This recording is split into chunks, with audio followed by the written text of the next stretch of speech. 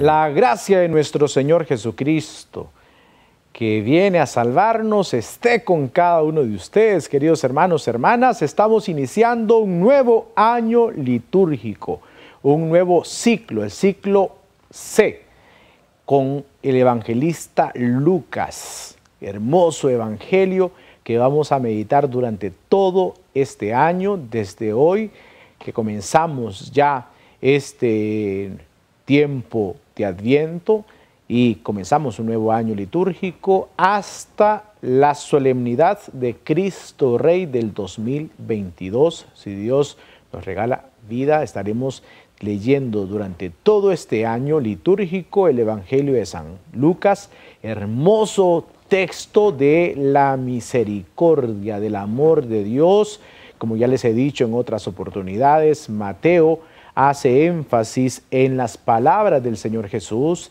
El Evangelio de Marcos hace énfasis en las obras de Jesús, el Evangelio de Juan en el misterio y el Evangelio de Lucas en los sentimientos de Jesús. Ahí encontramos, o en este Evangelio encontramos sentimientos hermosos de Jesús, sobre todo las parábolas de la misericordia, también se recuerdan el buen samaritano, en fin, el evangelista Lucas le da un papel protagónico a la mujer, cosa que no lo vemos en los otros evangelios. Bien, vamos a ir escuchando y vamos a ir meditando poco a poco. Tendremos tiempo para estudiar el evangelio de Lucas, para comprender algunos puntos. Recuerden que Lucas no era judío, Lucas era pagano, Lucas no conoció directamente a Jesús, Lucas escuchó de Jesús por el testimonio de los apóstoles, por el testimonio de Pablo, es que Jesús conoce, perdón, que eh, Lucas conoce de Jesús por el testimonio de los apóstoles y luego se da la tarea de escribir. Recordemos que Lucas es médico y así esa eh, capacidad que tenía él de su entendimiento, del conocimiento, lo lleva a escribir, a poner por escrito el Evangelio. Hermoso texto, se da la tarea de investigar temas de Jesús, desde su nacimiento y cómo la forma de, narrar toda esa experiencia, todo ese conocimiento de Dios, toda esa apertura al misterio, lo va narrando, lo va escribiendo. ¿no? Es hermoso el Evangelio que, como repito, vamos a ir meditando poco a poco. Vamos a, tener la oportunidad de cada domingo acercarnos al Evangelio para disfrutarlo, para gustarlo mucho.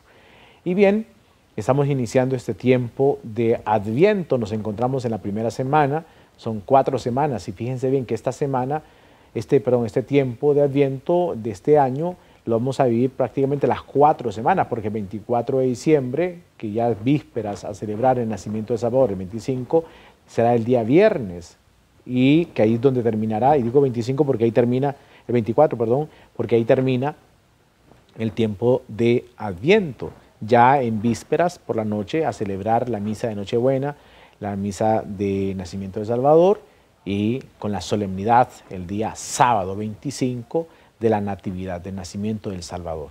Y entonces son cuatro semanas completitas que vamos a vivir del tiempo del Adviento, porque hay otros años que la última semana no se vive completa, porque ya solamente es el domingo, lunes o martes, pero esta vez sí, las cuatro semanas prácticamente completitas las vamos a vivir, así que vamos a aprovechar bien este tiempo de Adviento. Son dos partes en las que tiene el Adviento, pero bien, vamos ahora a ponernos la mano del Espíritu Santo mejor y después les voy a hablar sobre el Adviento. Vamos a hacer una pequeña catequesis del Adviento para que comprendamos qué es lo que vamos a vivir ahora. Así que pongámonos ya en las manos del Espíritu Santo. Hagamos la oración. Espíritu Santo, en este día queremos consagrarnos a tu amor, queremos ponernos en tus manos, abre nuestra mente, Espíritu Santo, para comprender la palabra, nuestros corazones para vivirla, pero también nuestros labios para comunicar la buena nueva de salvación. Ayúdanos a comprender esta palabra, Espíritu Santo, danos hambre sed para gustarla, para saborearla, para estar bien nutridos de tu gracia y de tu amor. En tu mano quedamos, Espíritu Santo, y que sea tu santísima voluntad la que reine en nuestros corazones, ahora y siempre, por los siglos de los siglos. Amén. Mis queridos hermanos, hecha ya la oración al Espíritu Santo, nos vamos a acercar a la palabra de Dios con las cuatro preguntas y ahí voy a ir aprovechando para entonces hablarles sobre el tiempo de Adviento. Vamos entonces a la primera parte de nuestra lectura divina.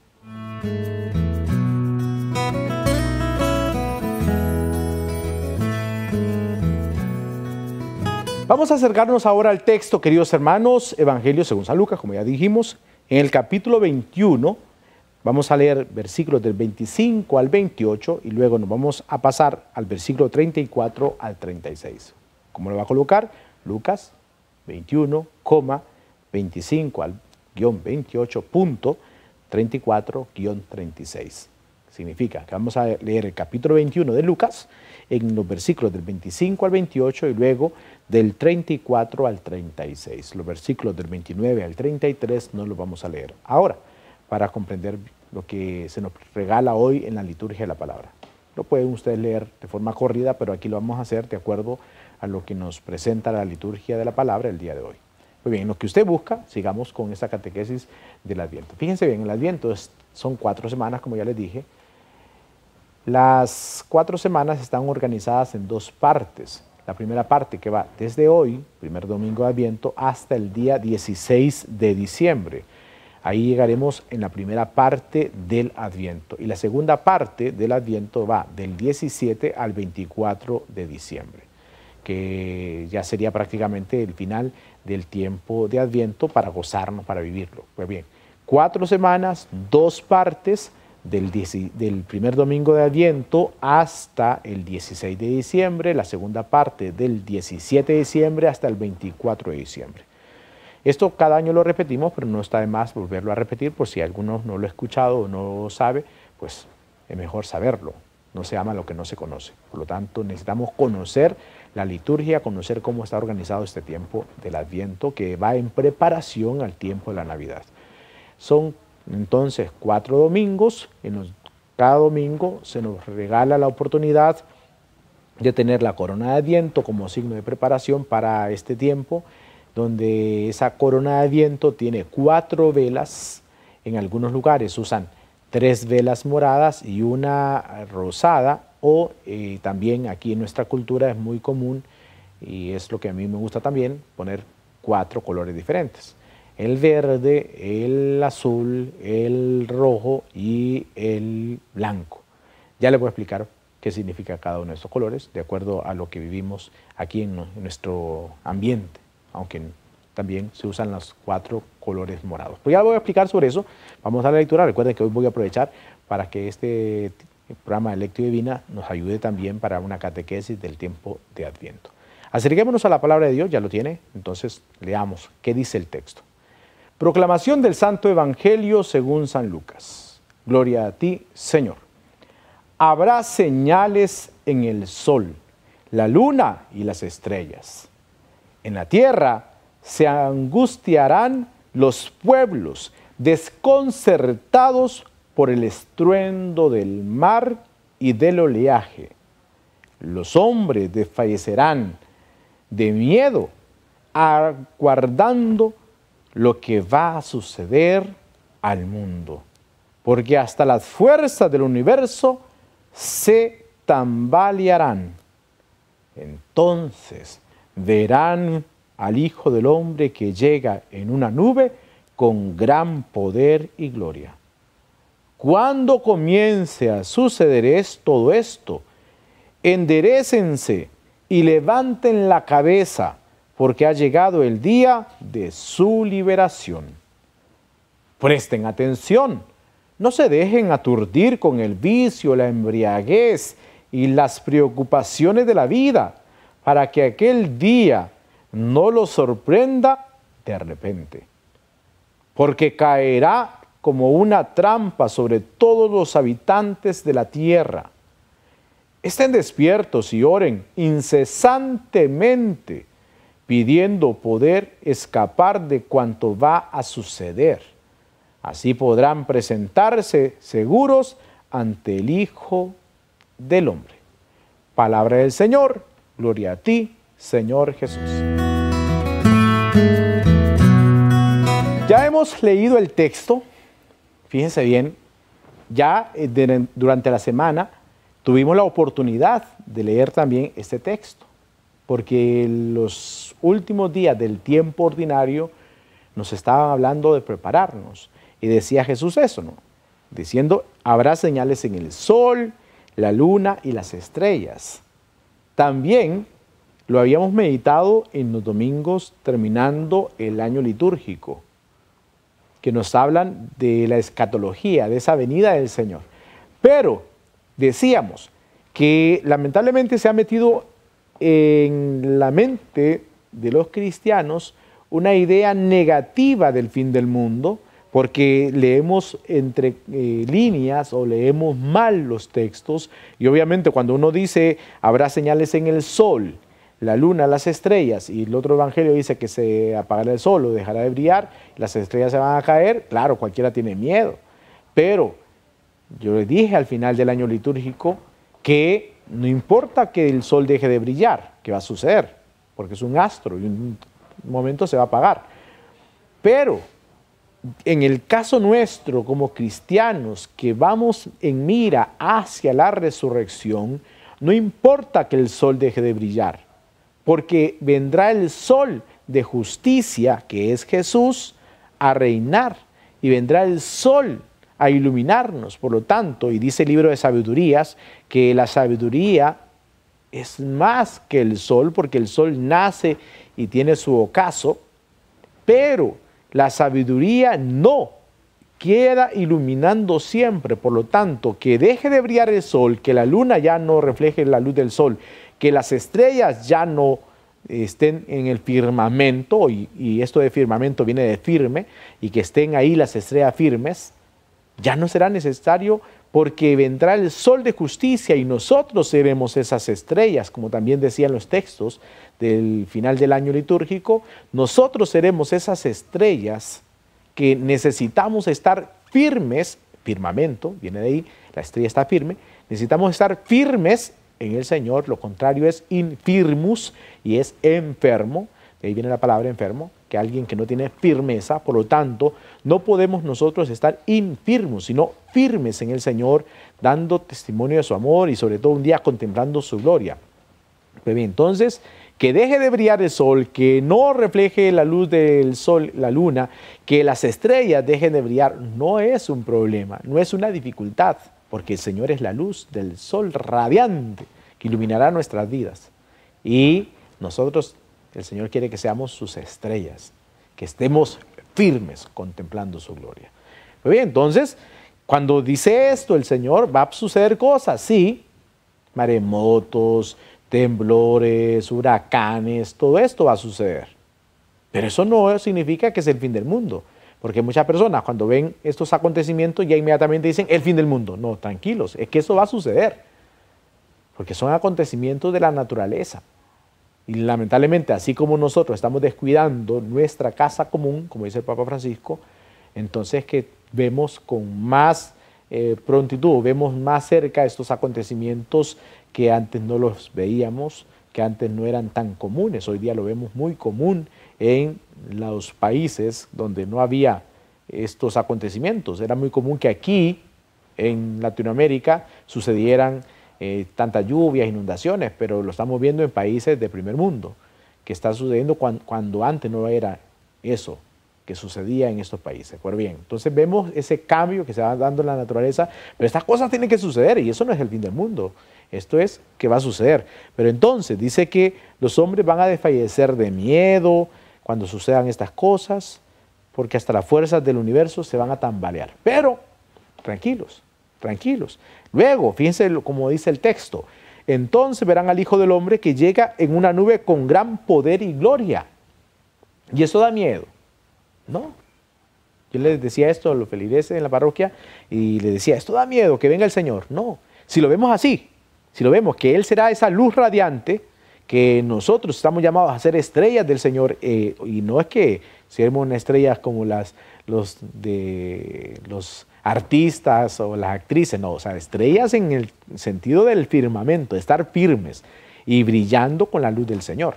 Pues bien, a eso se refiere, no estoy hablando de estrellas ahí de, de, fama o de cosas del mundo, no, o sea, estrellas en cuanto a estar firmes, el firmamento, ¿no? estar firmes en el Señor e iluminar con la gracia del Señor de la santidad en nuestros corazones. Pues bien, entonces dice, vendrá el Hijo del Hombre en una nube con gran poder y gloria. No dice que vendrá catastróficamente y que va a venir a destruir. No, quitémonos esa idea, ya le digo, quitémonos esa idea de, terror, de miedo. Cuando em, comience a suceder esto, fíjense bien lo que dice, enderecense. Muchas veces andamos todos aplastaditos, ahí todos encurvados. ¿no? Enderecense y levanten la cabeza. ¿Por qué? Porque ha llegado el día de su liberación. A enderezarnos, erguidos, firmes, con la cabeza en alto. Muchas veces yo suelo decirle siempre, ¿se recuerdan? Que ¿quién es el único animal que anda con la cabeza abajo? El cerdo. Ahora que ya viene la Navidad, pobre cerdito, ¿no? El cerdo es el único animal que anda con la cabeza abajo. Nosotros no somos cerdos, somos hijos de Dios. Por lo tanto, necesitamos levantar la cabeza, nada andar con la cabeza ahí todos cabizbajos. No, con la cabeza en alto. Enderecense porque llega el día de su liberación. ¿Eso da miedo? No, no da miedo. Al contrario, llega el día de su liberación, ya no seremos presos de este mundo, ya no estaremos sujetos a este mundo, ya no estaremos nosotros ahí anclados a la mundanidad, sino en la liberación que el Señor nos quiere regalar a cada uno de nosotros.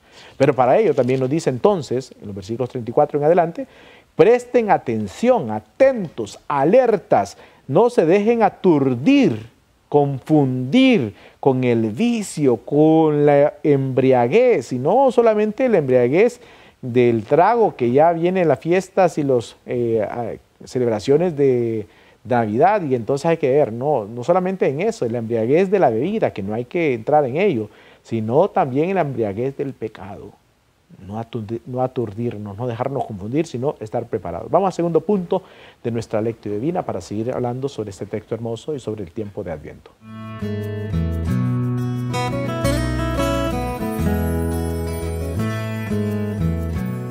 Sigamos con la catequesis de Adviento. Entonces les decía, fíjense bien, son cuatro semanas, como ya les dije, dos momentos el primer momento va del primer domingo de Adviento hasta el 16, segundo les dije, del 17 al cuánto?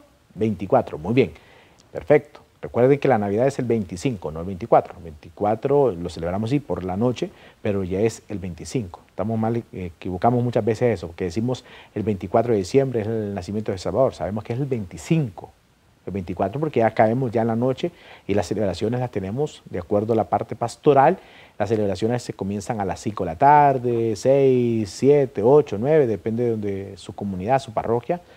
Las Eucaristías se programan en ese horario, pero es a medianoche, comenzando ya para el 25 de diciembre.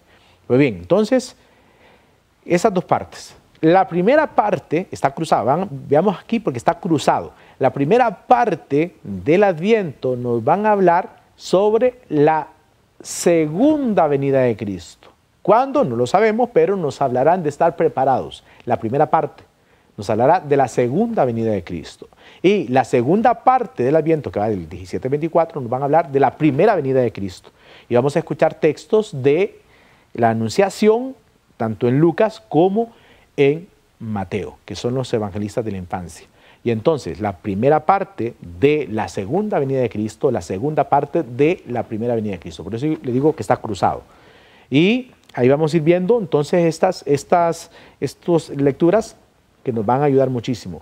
Fíjense bien, como les decía, está cruzado y podemos hacer una X, la primera parte de la segunda venida, la segunda parte de la primera venida de Cristo. Pero entonces en esa unión, que podemos hacer una X, en esa unión sería el aquí y el ahora, que el Señor sigue viniendo a nuestras vidas, es la parte intermedia, ¿no? O sea, ya vino, sí, vendrá, sí, pero en ese ya vino y en ese vendrá se da entonces la unión del aquí y el ahora, donde Jesús quiere nacer en tu corazón en este tiempo. Por eso este, este, esta etapa del Adviento para prepararnos al nacimiento del Salvador. Como les decía, son cuatro semanas, cuatro velas que tiene la corona de Adviento, que la usamos en este tiempo y que por favor, si no acostumbra, hágalo por favor para que usted pueda tener eh, la corona de Adviento en sus hogares. En la iglesia la vamos a tener cuatro semanas estará la corona de viento con cuatro velas. Y le decía, hay lugares que tienen tres velas moradas, que es el color litúrgico del tiempo de Adviento, y una de color rosada, que será el tercer domingo de Adviento, que es el gaudete, el alégrate. Las lecturas y las oraciones van en esa línea de la alegría. Esos tres domingo de morado y un rosado. El rosado sería el tercer domingo.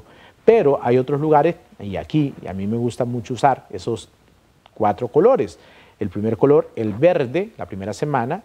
El segundo color, azul, la primera semana, porque el tiempo de viento es tiempo de esperanza y de espera.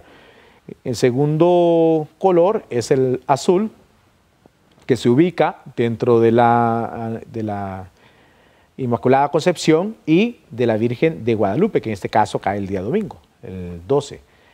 Entonces, el, sería la segunda eh, vela, sería el morado, que está en esa línea de la Virgen María. El tercer domingo de Adviento es el color rojo, porque nos habla sobre ese gaudete que le dije ya, que no es un morado, sino un rojo ahí que, nos anuncia sobre que en todo caso sería rosado, y lo usamos rojo, y el último, blanca. Entonces así usamos esos colores. Pero bien, ya eso como catequesis por lo que estamos viviendo, para que vayamos preparándonos bien. Cuatro colores, verde, azul, rojo y blanco. O tres moradas y una rosada, como usted quiera. Lo importante aquí es reunirnos en familia para rezar y orar y prepararnos bien para el nacimiento del Salvador en familia. Pues bien, y entonces el texto que hemos escuchado ahora ya es, hermosísimo. Nos está diciendo que van a suceder cosas, como ya les dije, desde el primer domingo de Adviento hasta el 16 van las lecturas de la segunda venida de Cristo, dice, vendrá el Salvador, va a venir el Salvador y por lo tanto hay que estar preparados y de qué forma, enderezándonos, de qué forma, levantando la cabeza, de qué forma, alegrándonos porque llega nuestra liberación. Fíjense bien, tiempo de Adviento es tiempo de alegría porque nos va preparando al nacimiento de Salvador. Diferente con el tiempo de la cuaresma, que es más penitencial, aunque es el morado el que está acompañándonos, pero el tiempo cuaresmal es más de penitencia, más de ayuno, de reflexión. El tiempo de Adviento es tiempo de alegría, de esperanza, porque vamos a celebrar el nacimiento de Salvador en nuestros corazones. Por lo tanto, no adquiere tanto ese tinte penitencial propio de la cuaresma, sino un tiempo de espera gozosa, de estar alerta, preparado, claro, que se nos invitará a la confesión, se nos va a invitar a la oración, intensificar la oración en este tiempo para que preparemos nuestro corazón y Jesús pueda entrar en nuestras vidas con un corazón limpio, puro, así como limpiamos nuestra casa para poner los adornos navideños, así como hacemos un aseo, si hay dinero pues se pinta las paredes eh, de nuestra casa, se asea bien, así también tenemos que asear nuestra vida interior para que el Señor pueda nacer nuestros corazones, porque nada sirve poner un nacimiento si al final, donde realmente quiere nacer Jesús es en nuestros corazones y no está limpio. Necesitamos limpiar todo. Ya vamos a ir profundizando poco a poco en ese tema. Muy bien, entonces, como les decía, levantar, enderezarnos, levantar la cabeza y sobre todo vivir en la alegría que se acerca a nuestra liberación. Seremos libres de este mundo, mm, no tanto del mundo creado, sino de la mundanidad, mejor. Hablemos así como dice Papa Francisco, ¿no? de la mundanidad. Seremos libres de la mundanidad que nos lleva a vivir anclados al pecado y que nos aparta del proyecto salvífico de Dios. Por lo tanto, alegrarnos, no dejar que la embriaguez del mundo nos confunda y nos aturda hasta el punto que nos podamos vivir y prepararnos bien para el nacimiento de Salvador. Vamos al tercer punto en nuestra lectura divina, la oración, y ahí entonces iremos profundizando en nuestra vida interior con las lecturas que hemos escuchado.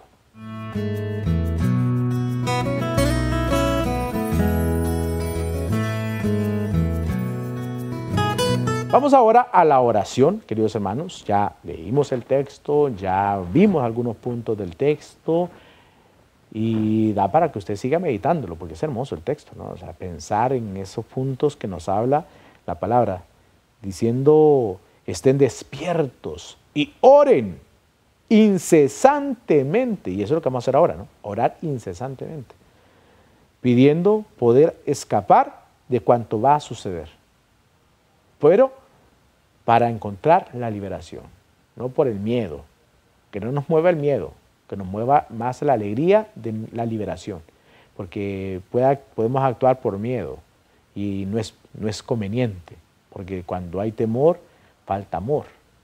Donde hay amor no hay miedos, por lo tanto no podemos actuar por miedo, no con amor, con esperanza, con gozo.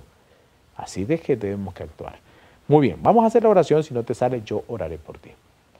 Hoy, Señor, venimos ante tu presencia después de haber escuchado este texto, sabiendo que estamos iniciando este tiempo de adviento, cuatro semanas, Señor, para prepararnos, para vivir este tiempo hermoso de preparación, de alegría, pensando en nuestra liberación, Señor. Ayúdanos a enderezarnos, a no estar ahí todos cabizbajos, no estar todos meditabundos, no estar entregados a la mundanidad en este tiempo, a enderezarnos, a levantar nuestra cabeza con dignidad, con alegría, Señor, porque se acerca nuestra liberación, que eres tú. Ven pronto, Señor. Ven que te esperamos. Ven a nuestras vidas, Señor. Queremos llenarnos de alegría. Queremos llenarnos, Señor, de gozo en este tiempo que nos regalas del adviento.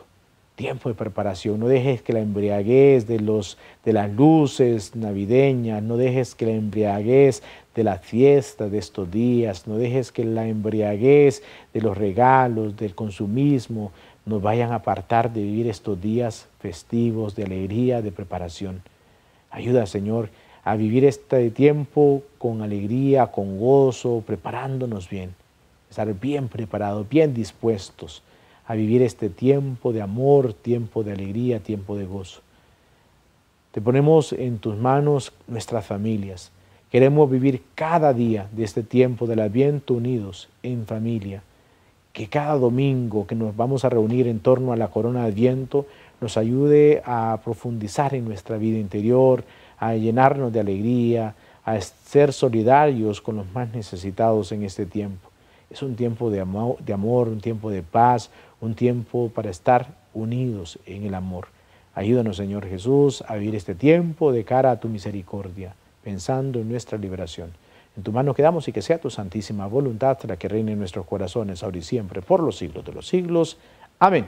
Bien, queridos hermanos, hecha la oración, vamos al último punto de nuestra lectura divina.